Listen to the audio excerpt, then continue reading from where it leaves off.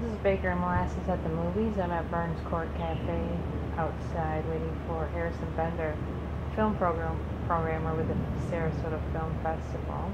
He saw Joker. I saw Joker. I've been dying to talk about Joker. Uh, I went to the movie with someone who said they were going to talk about Joker, and then they sort of left town. But Harrison is definitely not a second string quarterback. He's a first round draft pick, so I'm waiting for him to get here, and he should be here soon. So, clowns to the left of me, jokers to the right. Here I am, stuck in the middle with you. Ah, yes, I have no uh, pitch, but anyway, he should be here soon. All right, so here we are at uh, Burns Court Cafe. Well, not cafe, at the theater. On a nice, serene Sunday morning, the opposite of the mood of the Joker. yeah, yeah. But that's fine. We sort of need calm, calm quiet after that. So one thing I wanted to ask you, Harrison, was about Todd Phillips' experience or any preconceived notions you had going in.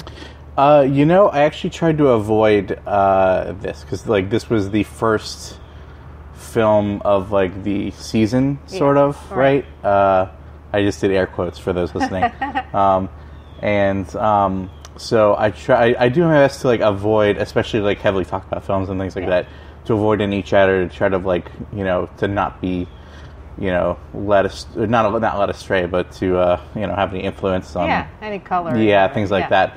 Um, I think for this movie, it's kind of impossible. It just kind of you know penetrated the, the popular culture nexus, and um, and and even then, I, d- I didn't have any. But I will say, um, you know, when the film was announced, uh, you know, somewhat you know lamenting again that that there are um, you know possible complex character study movies that are based on comic book characters when they could just be original. Right.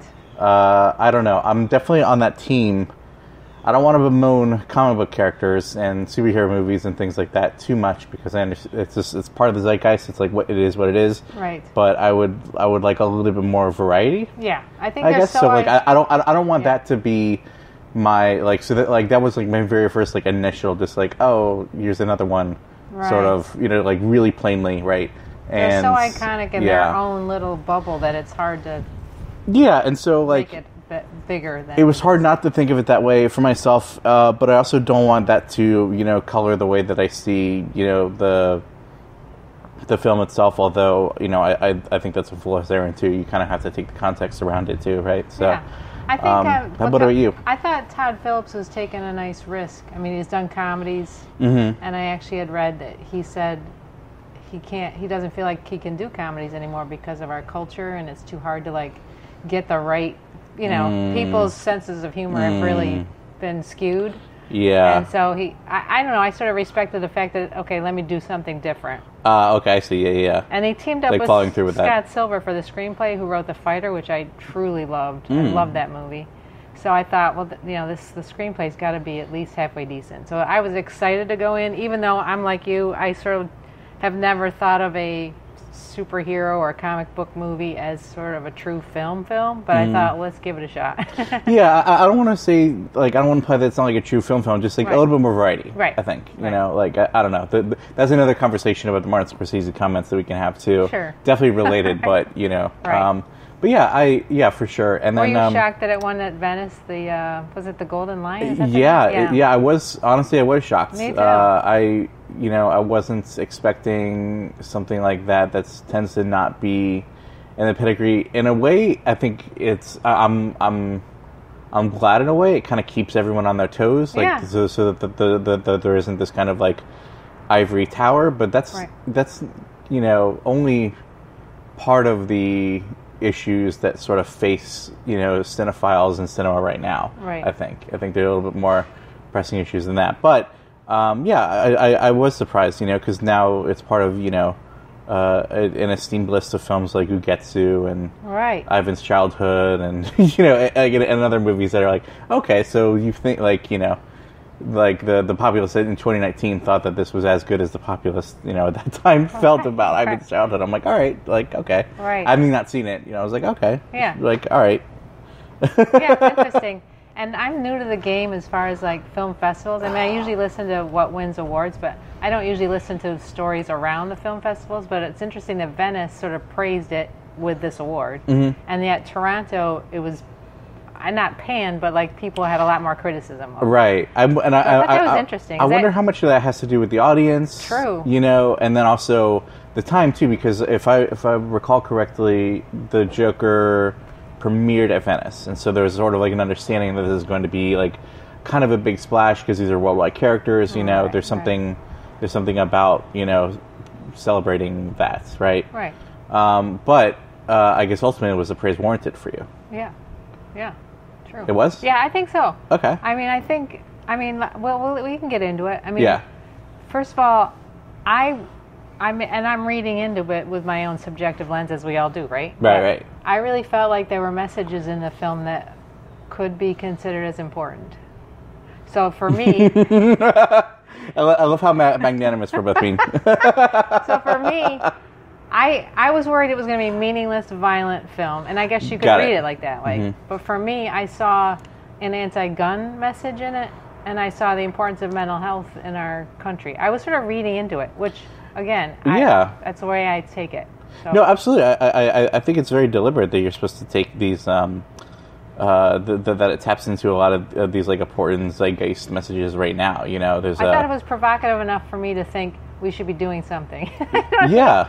Well, like i I, I mean, uh, in all instances of you know previous iterations of the Joker, for the most part in live action films, maybe I think I don't remember if uh, if Tim Burton's Batman, because because you because you know in Tim Burton's Batman, the Joker kills Jack Napier kills Batman's parents in that one, but I don't know if they ever get into his origin story. Maybe they do. I don't remember. I don't think so. I think this is the first time there's been sort of Yeah, and so like with origin stories, right? There's a there's a sense of like you know empathizing with this character, and, and I know that that was the, the you know part of the issue from the start is you know empathizing with a character like this, and you know and uh, and they're not wrong. I think for uh, addressing like a lot of these issues that it's also deeply complex. There's a, a lack of you know social services that have been you know slowly eroded over time. Right. Uh, you know these these subtle fixtures uh, about um, about how that relates to treatment of mental health.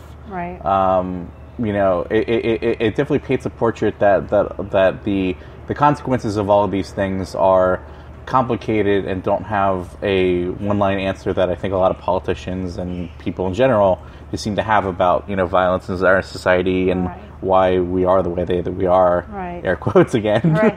Right. um, right. So uh, I give it like tons of credit for that, uh, for sure. Yeah. Um, and it's a really beautiful movie for sure. Um, I, I mean, I think the one common refrain, regardless about how you feel about the film, is um, uh, except for Stephanie Sh- uh, Zacharek, um, was that uh, that you know Joaquin's performance was like you know unreal. Unbelievable. You know, his you know, par for the course, right? His physicality. yeah. I mean, he was so thin, first of all. I mean, to his sickly proportions, but the way he moved his body in those dance numbers, it was almost like I Mm-hmm. sort of said Fred Astaire mixed with Ju- Justin Timberlake. I mean, I Mm-hmm. mean, like it was. I, I really found that choreography or whatever he did with his, his body was amazing. Yeah. That manifested itself in the characters. Definitely, like I, I love how um, expressive like the film was. Like there's Mm-hmm. there's a, um, I think one of the things that actually, so I, I ultimately, uh, while while I respected a great deal, like ultimately didn't like it for a variety of reasons. But I think one of them too was that there's there are these kind of like, um, expressionist like it's a it's a psychologically like psychological realism is like so so pervasive in the film. Right. There's also these like expressionistic moments, like uh, you know the uh, the dancing and the things like that. And it, it was supposed to. I, I think it's supposed to meld with like you sort of empathizing with the psyche and things like that, but it just doesn't click for me Okay, personally. alright. Yeah, Um, I can see that. you Where know. do you think it was sort of mocking the seriousness of the issue? I or- think I think so too. Well, it's not even so much that I was mocking as I think, and here's ultimately like my problem with it, despite the fact that um, I think that it's a you know uh, a, a, like a, a really well crafted film and, and very consistent and things like that. Uh, is just that uh, it isn't as sophisticated I think as I'd like it to be. Like I think that I think that we all sort of knew uh, for a movie that's so much that is so deliberately about how how we are now and like and how we can feel now, right? Because I think you know no one no one is like the Joker, right? But I think everyone can sort of feel like the Joker being kicked down, Right, like things like that, right? Right. Um, I think that that we all sort of like sort of know. We I I guess there are national conversations that, that are going about to contradict like what I'm about to say, but uh, to me it seems um, not sophisticated to just introduce the ideas that, that it's all that it's all these complicated things, uh, which is which is what I give it credit for. But I wanted to go a little bit further and not just showing that, but also kind of explaining it. I got you. You know what I mean? I totally agree with you, and it's almost like and you just hit it on the head. I think. I think it's like a collage of all these different parts, and yet there's no, Yeah, you know, there's no defining through line. You know. I respect it for that reason Yeah. very much. Yeah. But I also kind of wish it was like, okay, well, kind of do that, Right. You know, like that's how we're all feeling, Right. So like, like where's like where's the other, you know?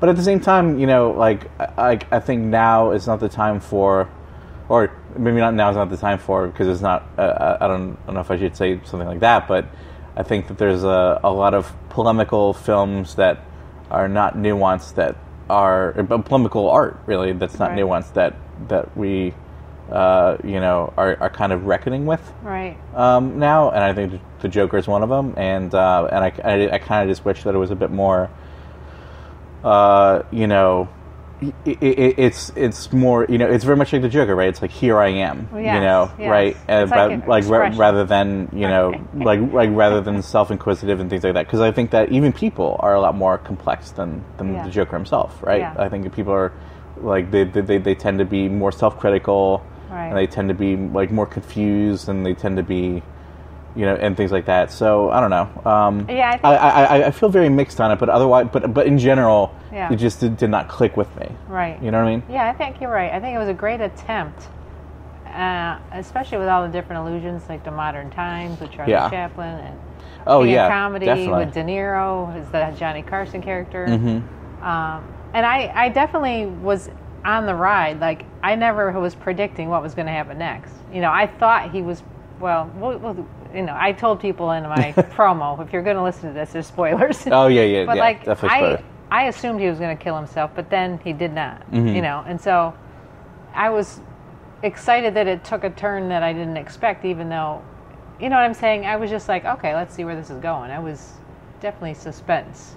Yeah. suspenseful, and and, and and I think that there's all there's a lot of counter arguments I think to to what to what uh, our feelings are. Right. You know, now because I'm I'm thinking about other scenes in the movie too, where it's like you know you could make a statement for that, and then but I would be like, well, I wanted more of that, right? Right. You know, like is is sort of how I feel about it. But um, I'll tell you a couple Yeah. things I liked and a couple things I did not like specifically. yeah, Uh, I'll do the positives first. I loved the scene where he was talking to the detectives and then he goes into the hospital and, and hits the wall, the glass. Mm. I mean, it was so sad. Like he had almost had sort of a victory, like telling these two cops, bug off. You know what I mean? Yeah. And then he runs into this glass wall. It was just like, or glass, you know, it was a glass door that he didn't realize was a door. right. You know, he thought it was open. That was just so heartbreaking and like shockingly like, oh, this poor guy. You know what I mean? Not that I'm not sympathizing with a murder, but just No, no, no. though that personal moment where he just, you know, his mother's been a horrible person to him. He finds out, and Yeah, yeah. it- the- I think that's also another thing that, that remained elusive for me a bit is that the, um, you know, the the sort of ambiguity uh, for you know how we're supposed to read, you know, his parentage and and how the way that he is, uh, I think is true to real life in Right. in some respects, but also um, doesn't really is is not really. Um, I don't know. I, I, I think in this movie it's sort of like a cheap tactic because Yeah. uh, you know it, it's it could embrace that it, that it's both right like that like like Yeah. that we don't know you know what I mean And yeah, in the same Um, sense, I don't want. Yeah, you're right yeah. because I don't want it to be. I would like. I don't think he he had any right to do any of the violent things he did. I mean, Right. besides self defense, but he even then he went to an extreme, obviously. But like, I that bothered me with his mother in the hospital when when he kills her. I mean, that was just like unforgivable. You know what I mean? I don't care if she's a monster. You don't do. You know what I mean? Oh right. Like that sort of something in me broke at that point in the movie. Like, no,